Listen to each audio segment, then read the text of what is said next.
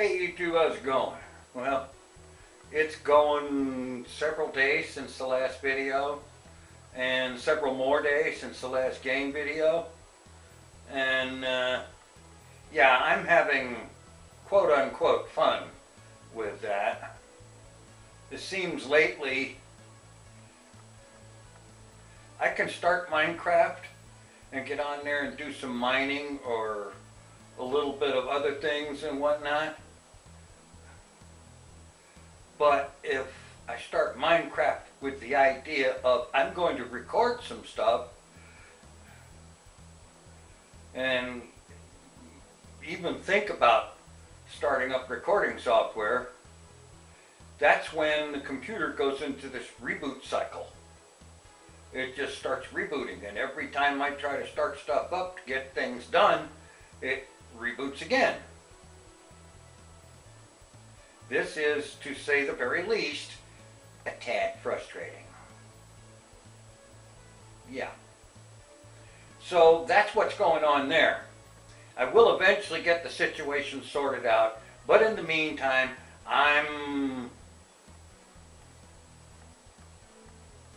more than a little bit less than pleased. And that's phrasing it as nicely and politely as I can. In the meantime, the subject of weight loss comes up. Because while I was in the hospital, they must have had me in one of those beds that has a built-in scale, which for a guy who can't stand on his, literally can't stand on two feet because he doesn't have two feet, uh, in order to get on a regular scale and get weighed, uh, the bed with a built-in scale is probably about the best way to do it. That's the good news. The bad news is that the number revealed is 320. This is exceedingly bad news. And it goes with this incredibly ever-swelling, amazing, ginormous gut that I have developed since getting out of the hospital.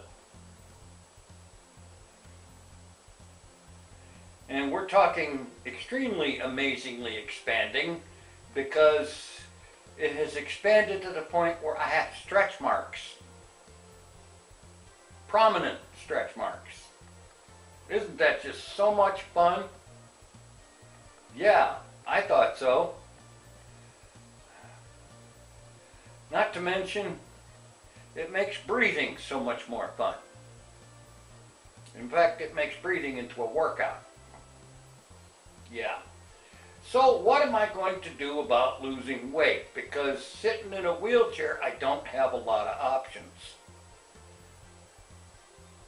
You know, physical activity is basically the, the key center point. It's the archstone of uh, weight loss because physical activity is the best ingredient for losing weight. And let's just face it, I am in no position right now to do that. It's not happening. And so, the only solution I have is good old-fashioned rigid dietary control. Right now I'm working on the control part. We'll worry about the rigid part when I get the control down. Yeah. In other words, if I can hit my target numbers or stay under my target numbers for a whole week in a row, then I'll see about trying to tighten it down to where I think I should. Let's face it, I sit on my butt all the time. Getting up and walking around is not a thing. I don't do that. You need two feet for that. And while I do have an exercise bike, you need two legs or one leg and a copy or an imitation, a prosthetic or something in order to operate that thing. Because you need to be able to pedal. And even if I was interested in applying that kind of pressure and whatnot to the end of my stump, which I'm not really, not directly, uh, it wouldn't reach. So, yeah, pedaling with one foot, no. That way lies madness. We don't do that. And so, basically, I have one left, one method left, the hard way. And thus, after a lot of thought and consideration, I have decided to reinvent an, an old invention of mine from years ago, which actually did work to a degree. The TV dinner diet.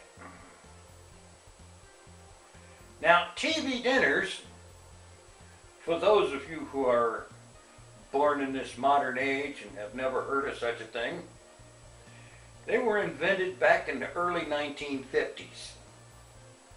Back when having a television was a status symbol. I mean, television is everywhere now, but back in those days it was new. And if you had a TV, you were somebody. Yeah. And the whole TV culture and everything was just getting started. And Swanson came up with this new thing that they called a TV dinner. It's a prepackaged frozen meal in an aluminum tray that you would put in the oven at like 350 or 400 degrees or something like that for about 25 minutes. And then you could sit there and eat your TV dinner in front of the TV. This was the whole thing, the whole big marketing spiel of that. You could sit and eat dinner in front of the TV. And uh, it was a whole big spiel. Now, we still have TV dinners today. They're just not called TV dinners anymore. They're called frozen meals, or frozen entrees, or things like that. I generally favor the ones by Banquet because they're decent. There's enough, they make enough of a variety that you don't have to have the same thing every day. You know, there's like generally eight or nine different varieties available. And actually, I think there's a few more. And what I like about them is that each meal comes in at less than 400 calories. So if I have three of those and my mug of coffee, I can get my carb my calorie total for the day to come in in the neighborhood of 1300 calories or thereabouts. This is good. Now I know a lot of folks are going to say, well, you know, you need to have a good 1500, 1800 calories a day. Y yeah, well, that's for people that have some minimal level of activity. My level of activity is zero. I sit here parked on my golden butt, my ever widening golden butt. Yeah, and do nothing. Well, nothing physical anyway.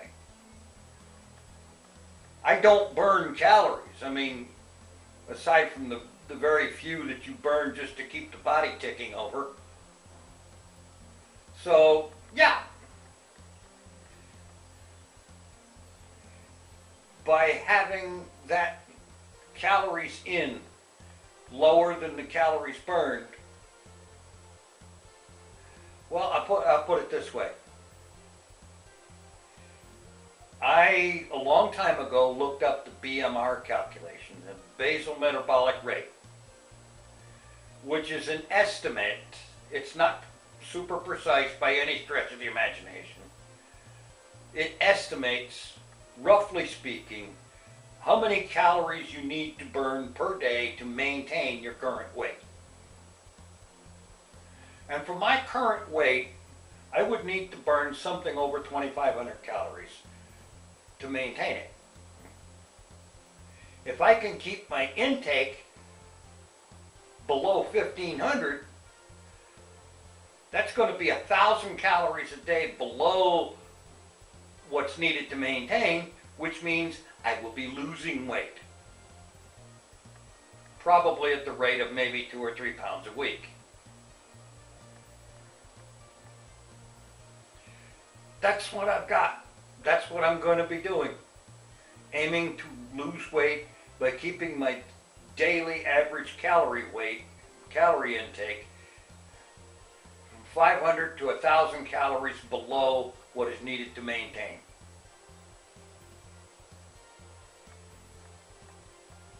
I mean, if I wanted my weight to be 175, which actually I do, the calories per day needed to maintain that is like 1600, a little over 1600. So, theoretically speaking, I could lose weight at a decent clip if I could keep my intake at 11 to 1200 calories a day. That's probably not going to happen, but it's a thought. Yeah. So that's what's going on. That's what I'm doing and or trying to do. We'll see how much it actually works out over time. Thanks for watching. Take it easy. I am out of here.